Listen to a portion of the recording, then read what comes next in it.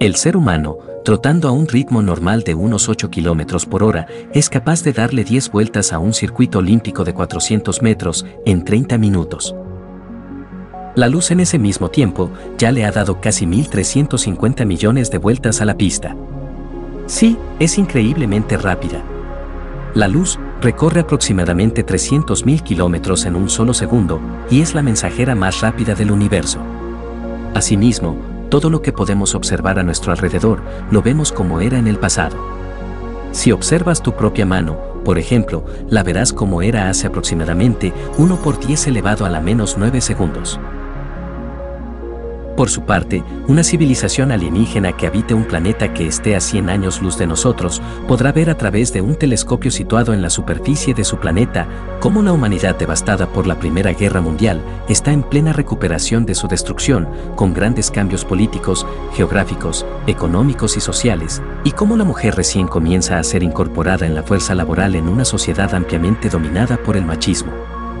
La teoría de la relatividad especial, nos dice que ningún cuerpo con masa puede alcanzar ni superar la velocidad de la luz. Pero, ¿por qué? ¿Y qué significa esto? En primer lugar, debemos comprender dos conceptos muy básicos. La masa es la cantidad de fuerza necesaria para producir en un cuerpo cierta cantidad de movimiento.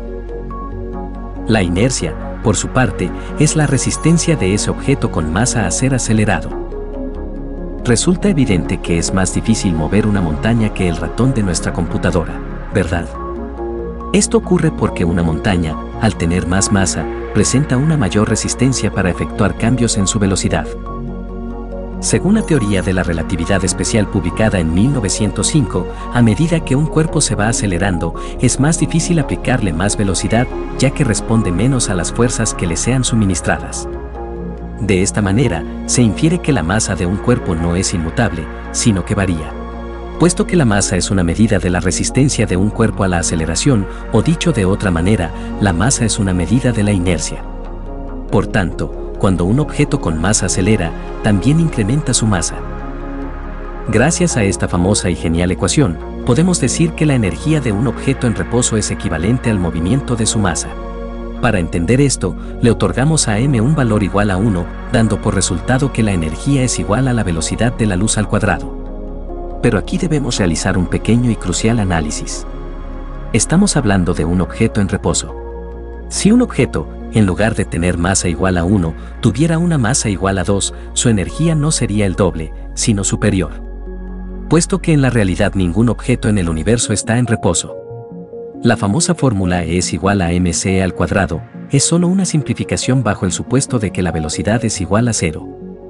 La ecuación original no es exactamente así, pero la expresaremos de la siguiente manera porque es de vital relevancia entenderla. La energía es igual a la masa por la velocidad de la luz al cuadrado, más el momento lineal, o cantidad de movimiento, por la velocidad de la luz.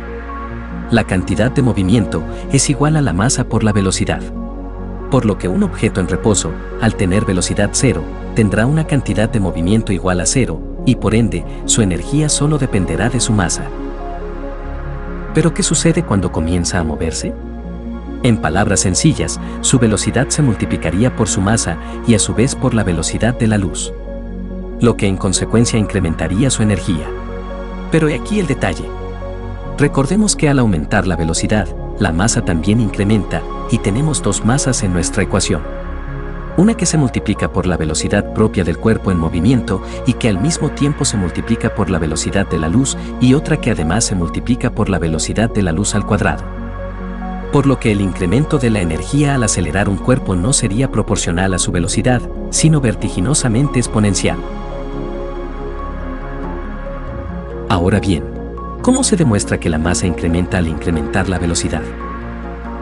La masa de un objeto en movimiento es igual a la raíz cuadrada de 1 entre 1 menos su velocidad al cuadrado entre la velocidad de la luz al cuadrado, la que finalmente se multiplica por la masa del objeto en reposo. Así, cuando el objeto tiene velocidad cero, su masa en movimiento termina siendo igual a su masa en reposo. Pero como sabemos, ningún cuerpo en el universo está en reposo. Entonces, a medida que un cuerpo incrementa su velocidad, este factor de movimiento se hace cada vez mayor, puesto que 1 dividido por un número entre 0 y 1 será siempre mayor que 1. De esta manera, al aplicar cada vez más velocidad al objeto, cuando éste alcance la velocidad de la luz, su masa se incrementará de tal forma que se indeterminará. Lo que es equivalente a decir que se hará infinita, y por consiguiente necesitará una cantidad infinita de energía para alcanzar dicha velocidad. Lo que es imposible según las leyes universales que nos rigen. Ahora, ya estamos preparados para platicar un poco acerca del tiempo. ¿Por qué este se hace más lento a grandes velocidades? He aquí un ejemplo. Cuando medimos la velocidad de un vehículo que se mueve a la misma velocidad que nosotros, nos parecerá que está quieto, o en otras palabras, que la distancia relativa que recorre es cero. Y es relativa, ya que es la medición que nosotros realizamos bajo una percepción influenciada por estar moviéndonos a la misma velocidad. Sin embargo, una persona que observa esto desde la calzada verá que ambos nos movemos a la misma velocidad que marca el velocímetro de nuestros coches. Pero ahora presta mucha atención. Como la velocidad de la luz es finita y la conocemos, si tomamos esta fórmula de velocidad, la única manera de que la velocidad de la luz continúe constante cuando la distancia relativa disminuye, es que el tiempo también disminuya en la misma proporción. Einstein entendió que no hay un espacio ni tiempo absolutos, ya que no hay una perspectiva absoluta. En el universo, casi todo es relativo, puesto que toda partícula se mueve respecto a otra. Casi todo con excepción de la luz, que sí es absoluta y se mueve en todas las direcciones siempre a la misma velocidad, sin importar el marco de referencia, ni la velocidad que lleva a quien la esté midiendo. Por consiguiente, la apreciación de cualquier individuo con masa varía según su punto de vista. Así es como nació la teoría de la relatividad especial, donde la velocidad dilata el tiempo, siendo inversamente proporcional al paso de éste. El tiempo transcurre más lentamente a grandes velocidades. Cada átomo y partícula de nuestro cuerpo tiene su propio tiempo, un reloj único.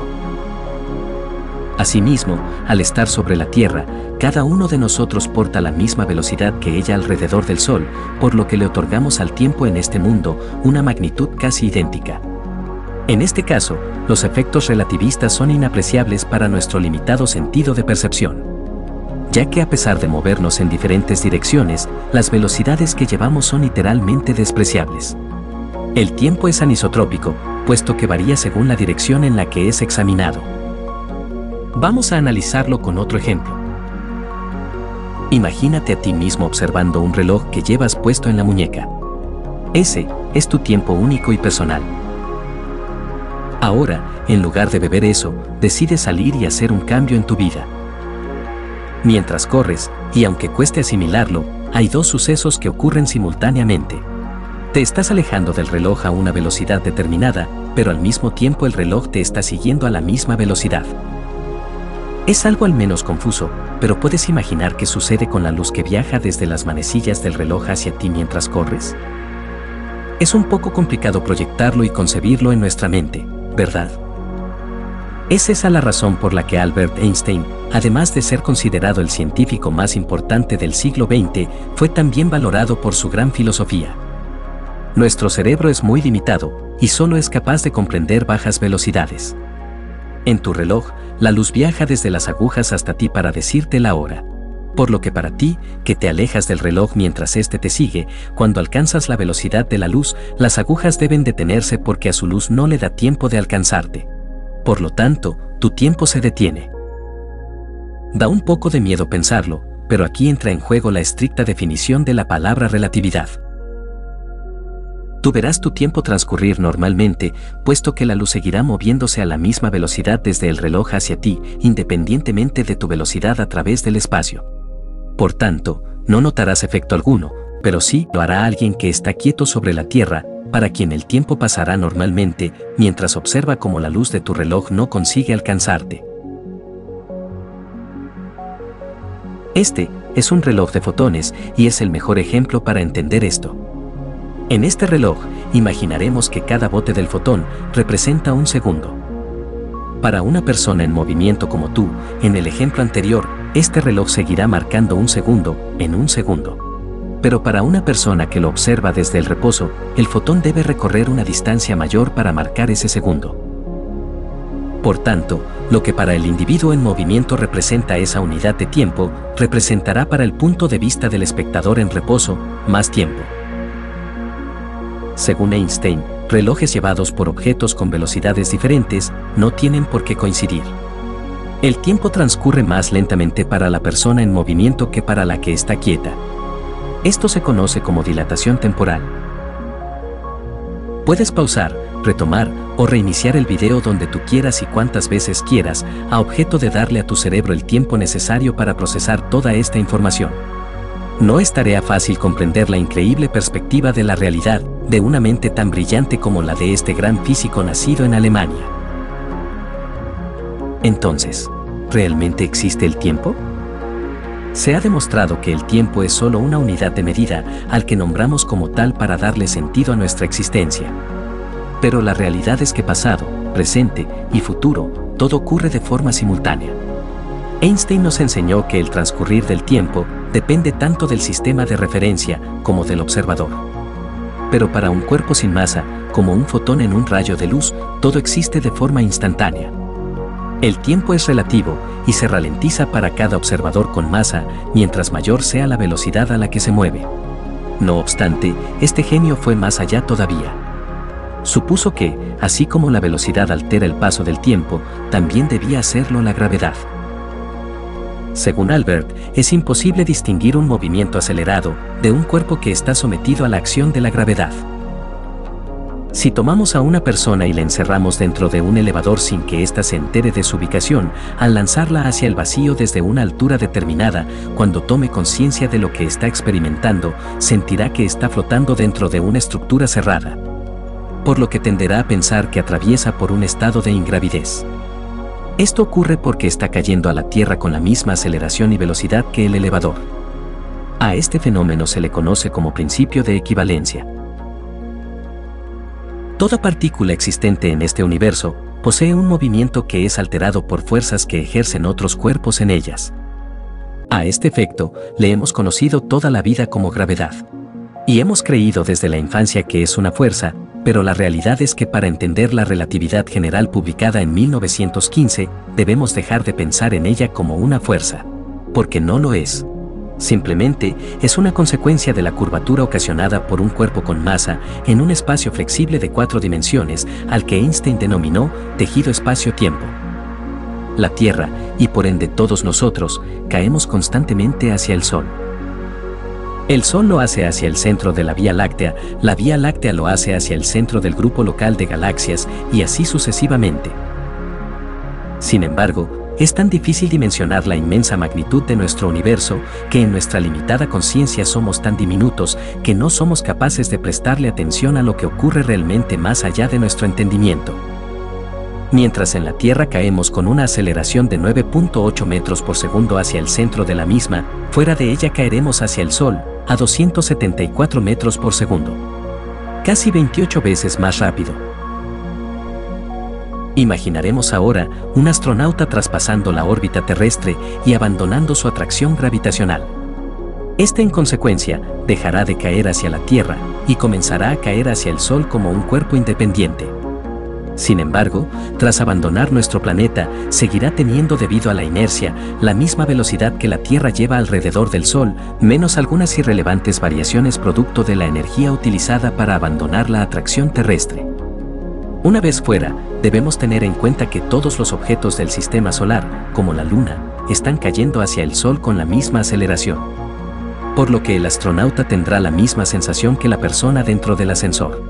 Por tanto, para su reducida comprensión del entorno, pensará que flota, porque su limitado campo visual no le permite determinar que todo lo demás cae con la misma aceleración que él.